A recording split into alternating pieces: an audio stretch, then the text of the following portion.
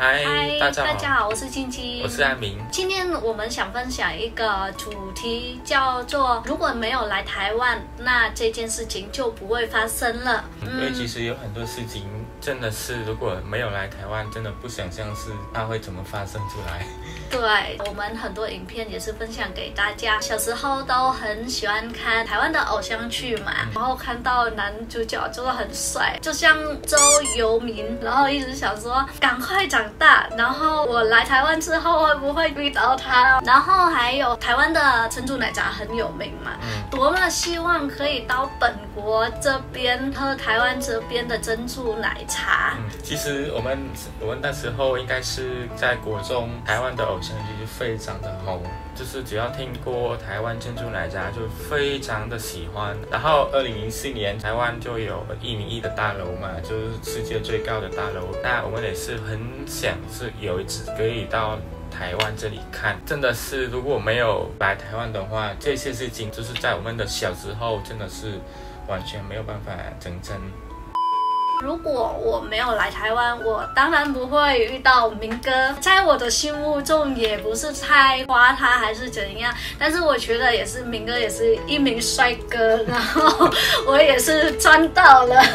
然后来到台湾可以学中文，然后体验过很多台湾这边的经验，然后还遇到我的人生最幸福的明哥，那也是谢谢台湾，台湾就是让我们两个可以找。到我们的另一半，如果真的没有来台湾，应该是没有办法看得到。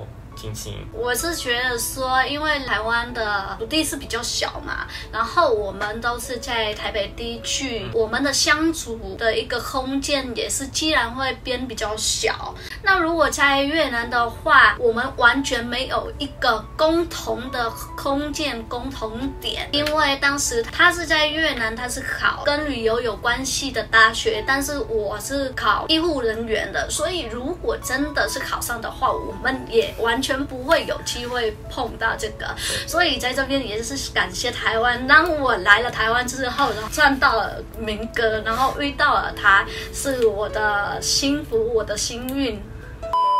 再来就是，如果没有来台湾的话，我们两个可能就没有办法体验到我们妈妈仅仅来台湾跟我们讲的那些事情。因为其实我妈妈跟静静的妈妈都有来台湾过，然后都有在台湾这里工作。我小时候妈妈就离开我我们家，然后来台湾这里工作，是为了要赚钱，为了要养我们呃上学。那来台湾之后，她可能每次打电话回去都跟我们说，哦，这里的台湾人是怎么样，这里的生活怎样怎样，教育是怎么样，然后交通是怎么样，她都有跟我们讲。在我们的小时候，头脑里面已经有一个哦，台湾就是这样的。也是有时候他也是跟我们说，其实他也蛮想我们啦，因为其实那时候小时候还没有现在科技这么发达，可以用 video call，然后我们可以互相看得到对象。那那时候只能用电话，那电话的话，妈妈只能去外面使用公共电话买一张卡，然后打电话回去，钱没了就是电话就突然就挂掉，或者是写信。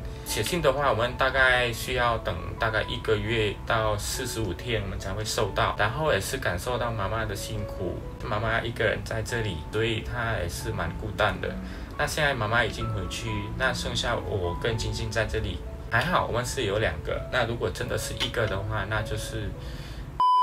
毕竟就是去外面工作嘛，所以非常的想家。然后我还记得那时候小时候，家里自己也还没有电话，像阿明刚说，要接电话的话，就是要跑，就我们整个村最多顶多就有一两家是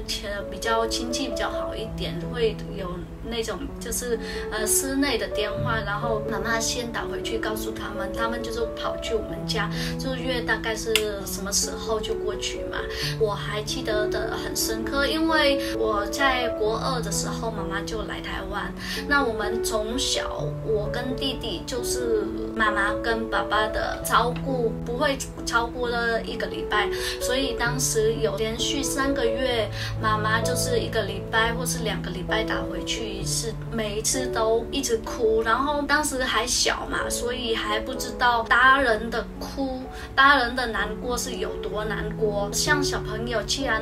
饿了肚子就会哭，但是妈妈的那种哭就是痛苦的哭，所以我觉得我们来台湾之后，感受到说大人的孤独真的有多痛苦，因为为了家庭，所以去牺牲自己。那时候那么小就没有妈妈的照顾，但是我们还有爸爸，还有我们的呃爷爷奶奶啊、亲戚阿姨、舅舅，他们都很疼爱我们，所以我们不会感觉到那种像妈妈一个人就远方去出去外面这样子的工作。我们来了台湾之后，我们就感受到那个，所以每一年我们一整年都不会放，然后我们就是累积在那边，然后过年可以回去跟家里团圆。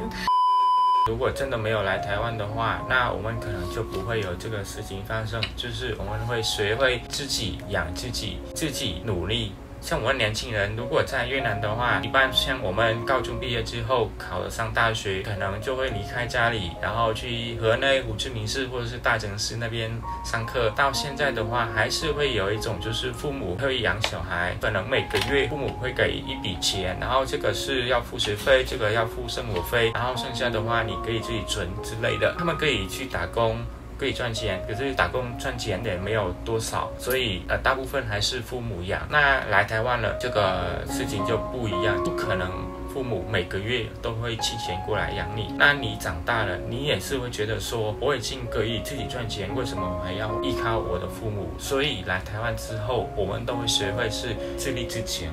如果真的没有来台湾这边的话，我们就不会那么早就去独立，不会那么年纪轻。来了台湾之后，我们真的是体验到了一个离家背景的来台湾工作是有多么大的压力，让我们自己会成长。如果自己在家里你生病了，爸爸妈妈会照顾，但是你来台湾之后，我们真的要学会不能生病。要照顾好自己，因为你一生病，你没办法工作。A few moments later，那以上我们刚分享的那些，就是我们如果真的没有来台湾的话，那些事情一定就不会发生了。我们的影片到这里结束。